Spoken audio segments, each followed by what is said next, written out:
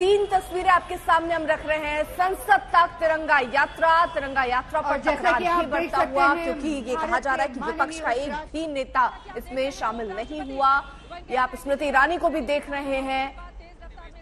विपक्ष पर सीधे तौर पर निशाना साधा जा रहा है। तिरंगा यात्रा पर सियासत भी गर्माती हुई नज़र आ रही है। तीन तस्वीरें हम आपको दिखा रहे हैं। संसद तक किस तरीके से तिरंगा यात्रा की शुरुआत हुई, उसके बाद तिरंगा यात्रा पर तकरार कैसे बढ़ रही है और कैसे बीजेपी के तमाम नेता बाइक रैली के ज़रिए हाथों में तिरंगा थामे, सड़कों पर दिख रहे हैं।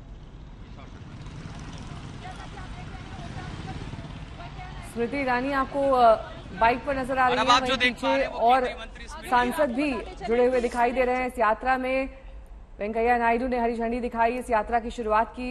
साथ में पीयूष गोयल भी नज़र आए।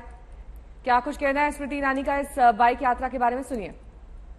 जैसा कि आप देख रहे हैं उपराष्ट्रपति तमाम जो सत्ताधारी दल तो है विपक्ष को न्योता दिया था आपने। बुलाने के लिए ऐसा है किसी भी हिंदुस्तानी को क्या न्योते की दरकार है अपने तिरंगे का सम्मान करने? का मुझे तो अचंभा इस बात है प्रधानमंत्री जी बार बार कहते रहे कि आपको मैं पसंद नहीं, लेकिन राष्ट्र के प्रति आप अपनी नापसंदी ज़ाहिर करेंगे, कितना लाजमी है।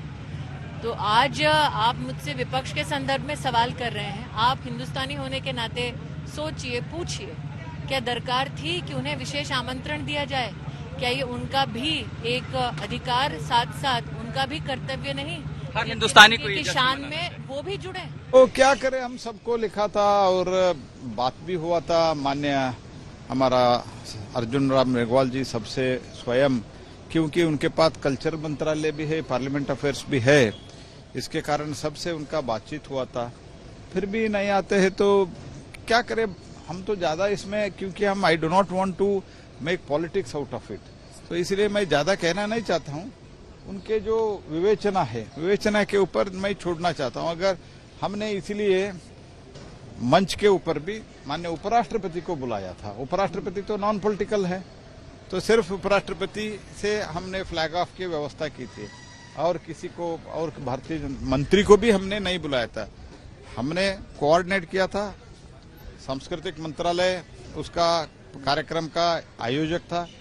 इसलिए हम दो मंत्री और मान्य वेंकैया जी, यही थे। तो they should understand every for everything we should not do politics that is what my appeal is